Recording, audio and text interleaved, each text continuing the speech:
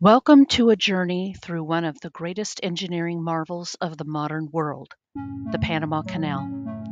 Today we will embark on a transit from the Atlantic Ocean to the Pacific Ocean, traversing through locks and lakes and witnessing the intricate dance of man and nature. Our journey begins at the Atlantic entrance of the Panama Canal, where ships from around the globe enter this gateway between two oceans. My day began at 6 a.m. on the helicopter pad at the front of the ship on Deck 4. There was already a gathering of people there when I arrived. We originally were supposed to enter the Gatun locks at 8 a.m., but the night before we were notified our entry time was pushed back to 10 a.m.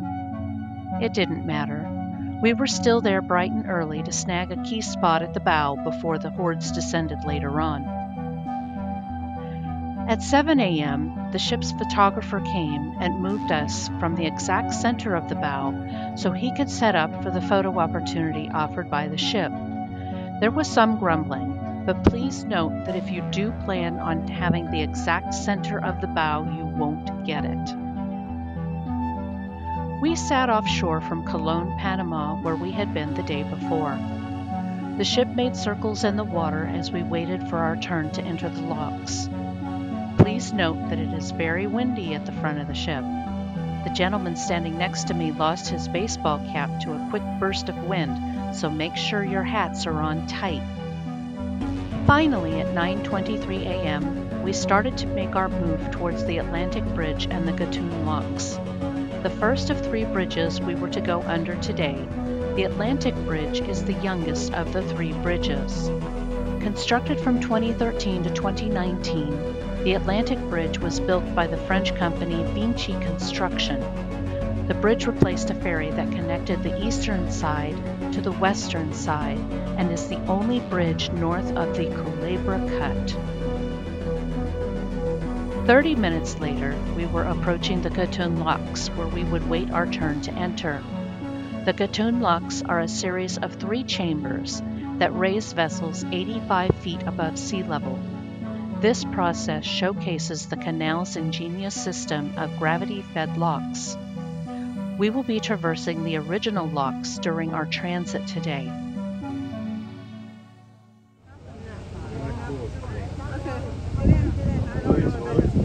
It's closing. I don't know if I get it. Closing. Yeah, I can't get it either. Oh, okay. oh. Let the sun clear. Right, exactly.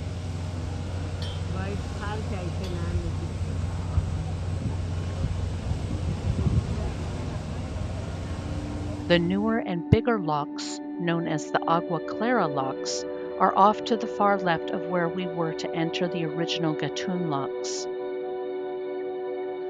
The Gatun locks consist of two lanes, one heading from the Atlantic to the Pacific and one from the Pacific to the Atlantic, with each lane containing three chambers.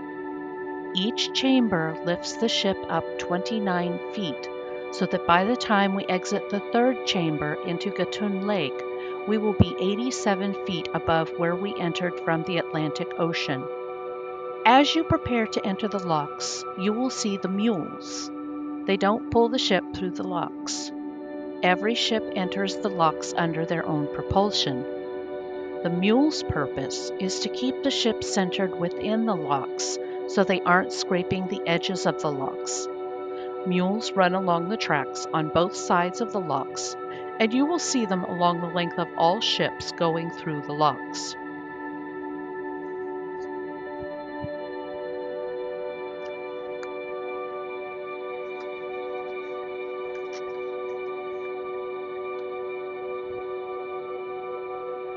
Original Panama Canal, completed in 1914, was designed to accommodate various types of ships within certain size limits.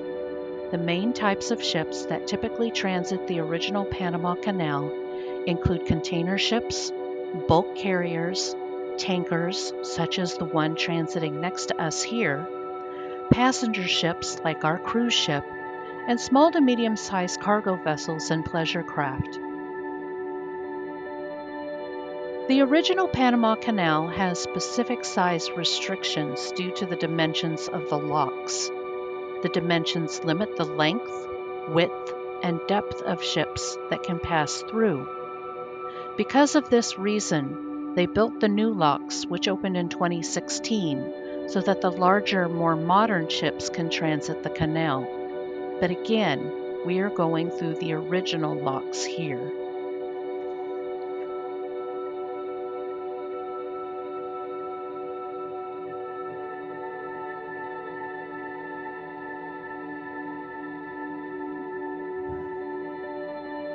So once a ship has gone through a chamber in the locks, they will need to either fill or release water for it. Since the chamber in front of us is too high with water, that means they will need to release water so that we can enter the chamber. The release mechanism on our side of the locks were under repair. So it looks like they released the water on the other side before they opened the lock for us to enter the chamber.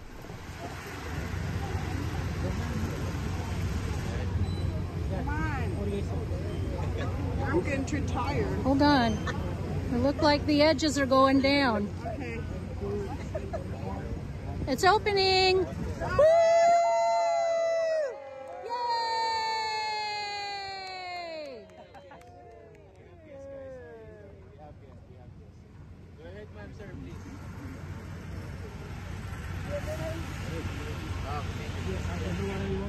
Next place, next place. Keep your arms down here on here, and that'll help to keep you firm.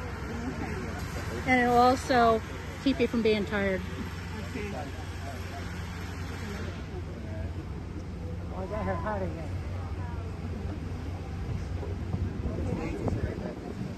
Oh, it goes inside in a, in a way.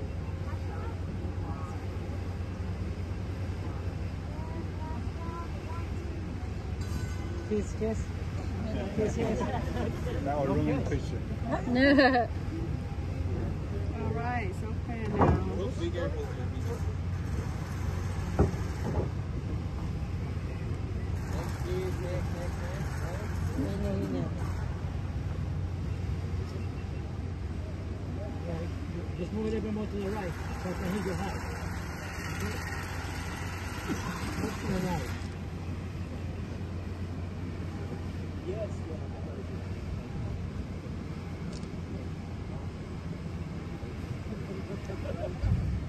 He okay? Yep.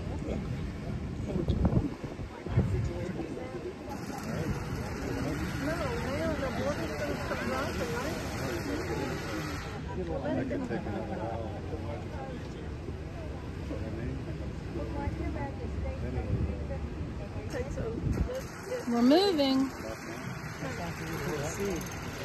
We, we're moving. I can tell off my left-hand side. First time in Los Angeles. First time in the, yeah, I, I haven't been there. First time on the ship, First time in, no, sorry. no, no, no, it's my fourth time. this place, what was here? No, no, I was with Wonder. The lock chambers in the original Panama Canal are 110 feet wide by 1,050 feet long, although they limit the length to 1,000 feet for each ship. Each lock chamber requires 26.7 million gallons of water to fill it from the bottom to the top in order to raise the ships, and the same amount must be released to empty the chamber so the ships can descend to the next chamber.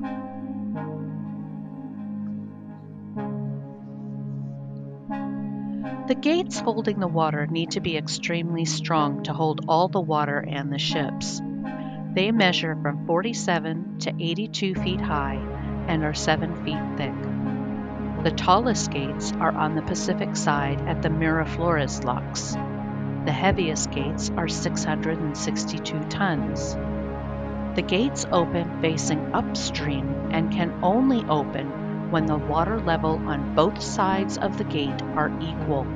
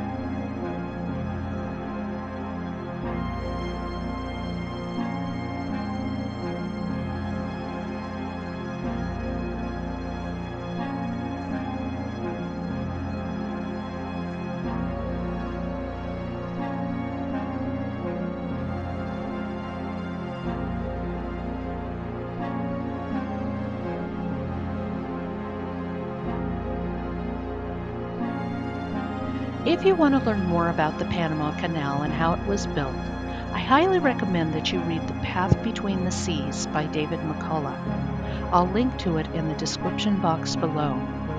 David, who died in 2022 at age 89, was meticulous in his research, but his writing is engaging and enjoyable to read. I found his book hard to put down, and it's an excellent resource as you plan your Panama Canal cruise. He also narrated an episode of Nova for PBS called A Man, a Plan, a Canal, Panama in 1999. It's brilliant and available to watch for free on YouTube, although the quality isn't that good. I'll link to it in the description box below as well.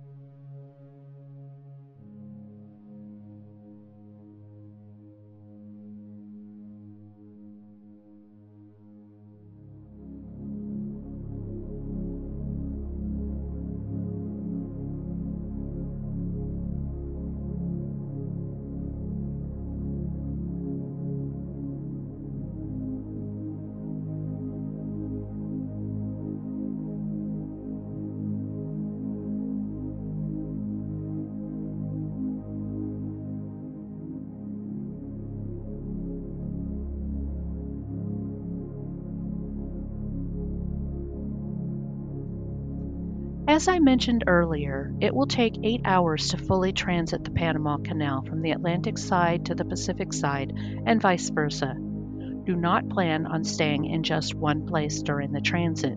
You should move around the ship to get other views as you go through it.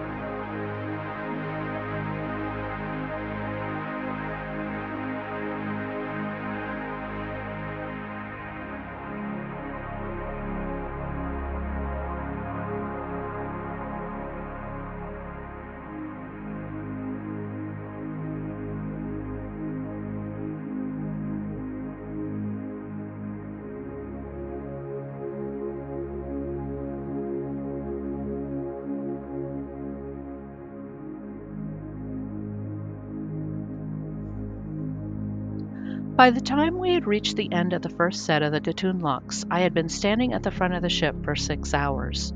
I was hot, I needed something to eat, and wanted to sit down, so I returned to the cabin to take some video from that perspective.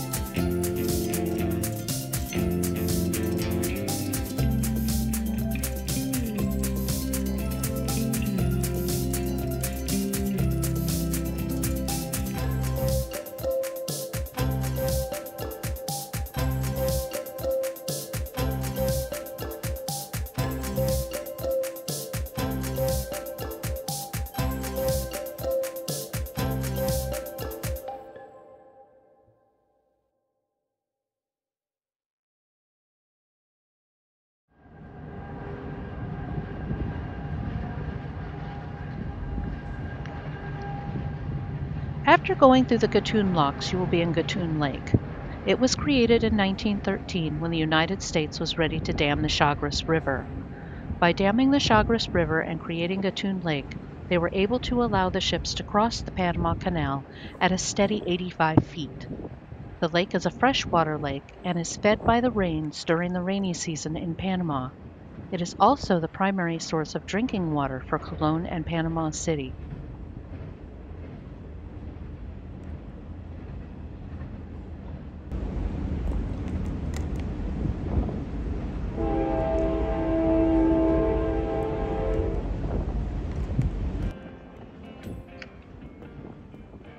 Lately, due to a significant drought in the area, Gatun Lake had dropped from 87 feet to 81 feet. This led to the first time the canal has ever had to reduce the number of ships transiting the canal. One of the first to be reduced were those cruise ships that were doing only partial transits of the canal. A partial transit is when a ship arrives from California or Florida, goes through the locks to arrive on Gatun Lake, and then returns to their respective states. Only full transit cruises were allowed to complete their transits in 2024, so we were one of the lucky few to be able to transit the Panama Canal this year.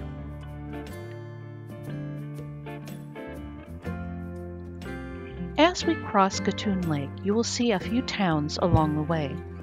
The first one is Gamboa, and it was built to house employees of the canal along with their families in 1911. Originally settled by silver roll workers who were non white, it was only used for a few short years until 1914 when the canal was finished. It was rebuilt in 1936 when the dredging division took it over and has been its home ever since. It is still used today, and its docks are used to reach the Smithsonian Tropical Research Institute located at Barro Colorado Island. So this gigantic crane next to Gamboa is the Titan crane. It was formerly known as Hermann the German since it was built in 1941 by Hitler's Germany and was claimed by the United States as war booty following the end of World War II. It was dismantled, shipped through the Panama Canal, and served at the Long Beach Naval Yard from 1946 to 1994 when the shipyard was closed. Following the closure of the naval yard, it was sold to Panama for $1 and sent to the Panama Canal to replace two other cranes that had been in use since the canal's opening in 1914. Titan can be floated into the locks and is capable of lifting the gigantic lock doors so they can be serviced every 20 years. As you pass the town of Gamboa and the Titan crane, you will see two bridges. The bridge closest to the ship is the Gamboa Bridge, and it is crossing the Chagres River. The newer bridge behind it was opened in 2018 and is a much safer and more pleasant drive across the river.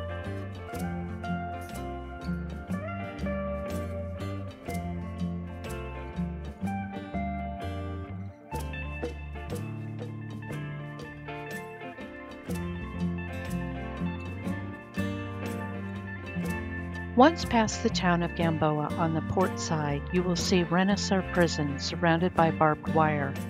This was where Manuel Noriega, who was the military dictator of Panama from 1983 to 1989, was kept after the U.S. invaded Panama in 1989. Noriega had been working with the CIA as a Central American intelligence source, but he was also a notorious cocaine trafficker. In the end, he was sentenced to prison for drug trafficking, racketeering, money laundering, murder, and human rights violations. He died in 2017.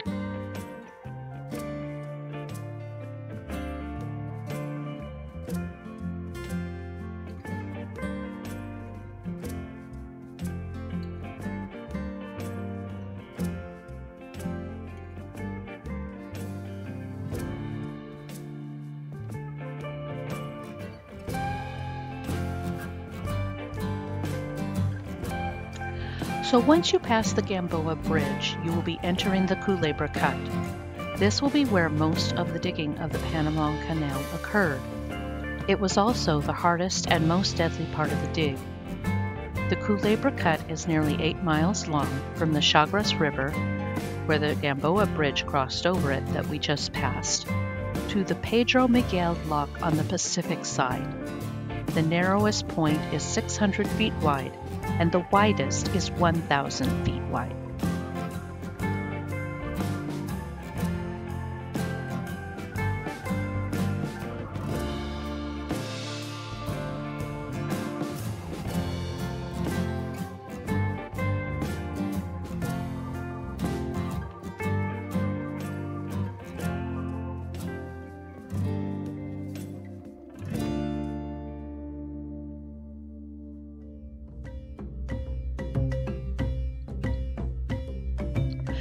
French started digging the Culebra Cut on January 22, 1881. It cost many lives due to the French misunderstanding of disease transmitted by mosquitoes. Their failure to finish the canal was partly due to disease, but also underestimating how much effort it was going to take in the excavation and ultimately financial difficulties and collapse.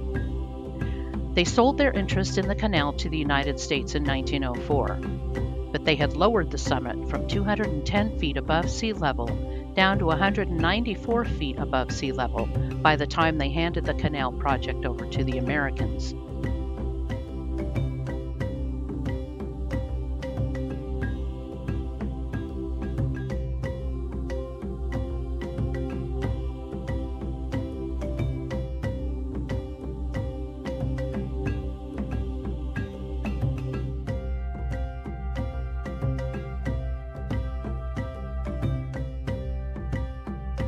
So the Americans took over on May 4, 1904.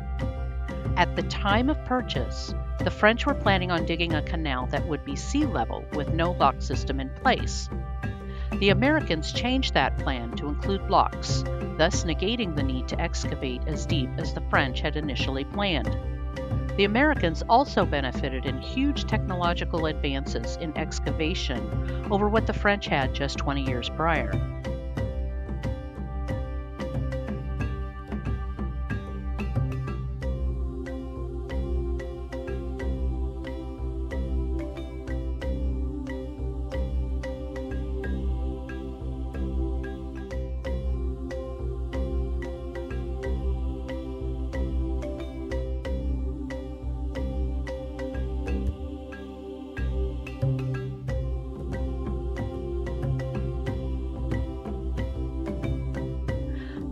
Challenge in the Culebra Cut was landslides.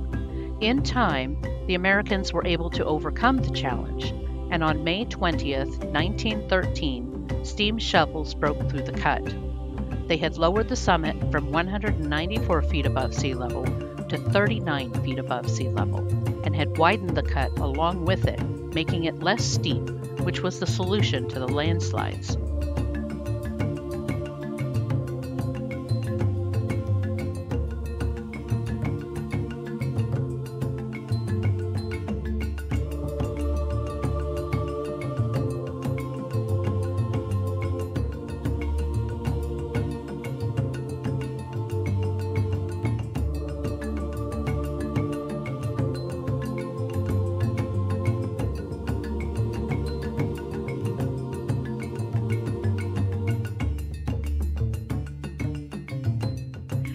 This giant hill is Gold Hill.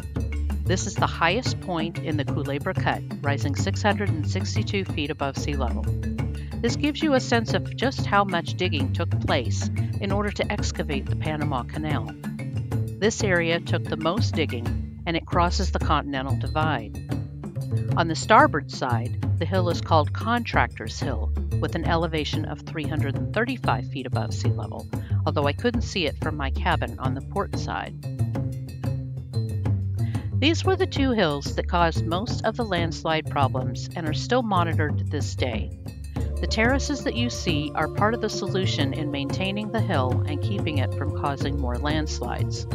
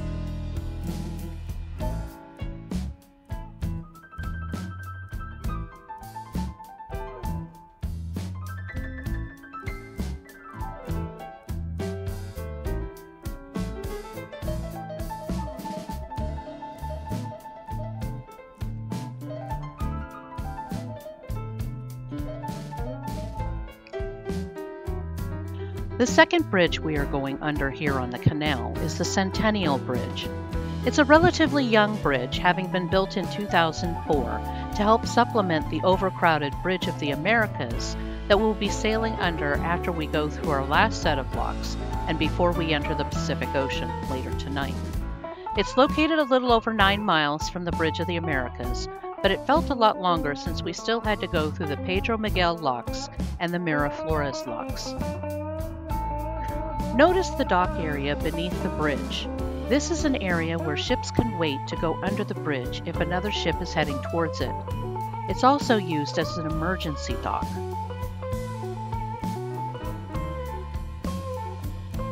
The bridge was named the Centennial Bridge in honor of Panama's centennial, which was November 3, 2003.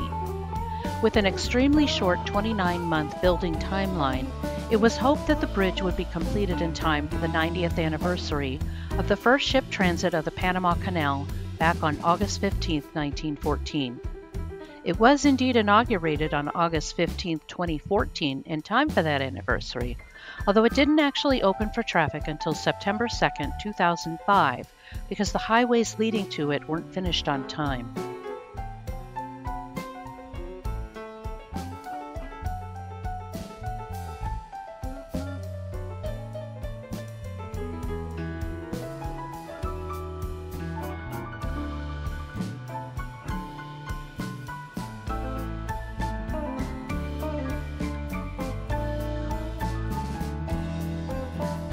Is a cable stayed design with a total span of 3,451 feet, and it clears the canal by 260 feet, so the tallest of ships can easily sail below it. It was also built to withstand earthquakes, which are common in the area, although the road access to it has been impeded in the past due to flooding and heavy rains.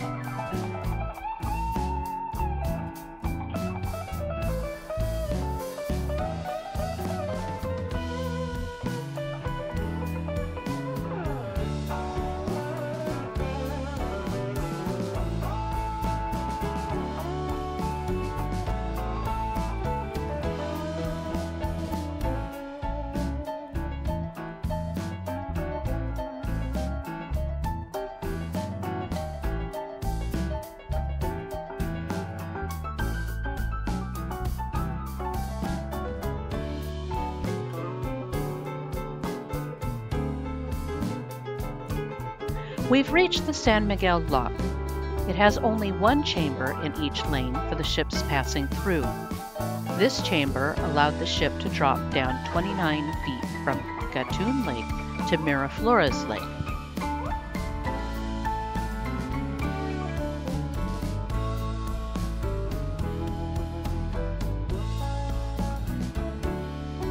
We spent some time waiting within Miraflores Lake before we were able to go through the Miraflores locks.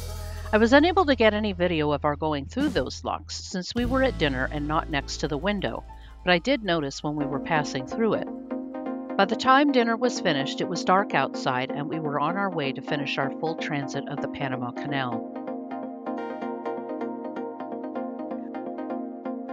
We eventually were close enough to Panama City that we were able to see the city lights from the top deck of the ship. I went a few decks higher than I had been first thing in the morning to get a different view, and I'm glad that I did. We passed by the Port of Balboa, which was built in 1909 and is the only container terminal for Panama servicing the Pacific region, although they are working on expanding it on the other side of the waterway. Our last bridge to sail under was the Bridge of the Americas. Built in 1962, it allows the Pan American Highway to connect directly with Panama City. It was the only drivable means of crossing from North to South America until the Centennial Bridge was built in 2004.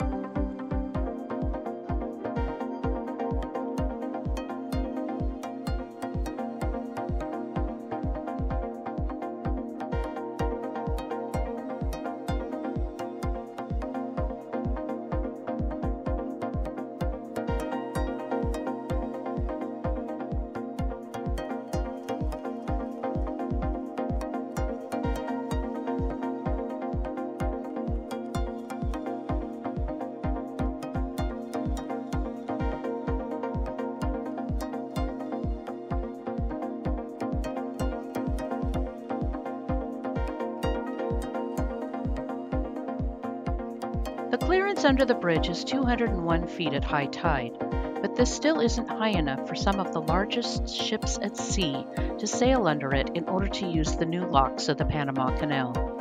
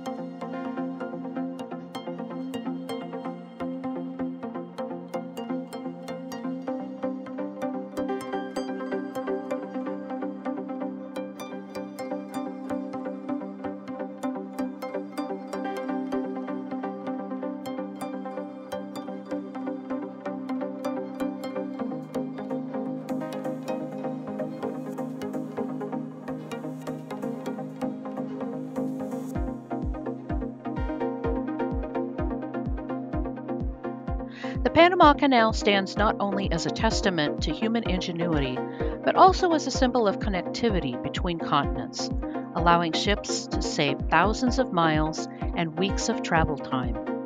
As we conclude our journey, we reflect on the beauty and significance of this remarkable waterway.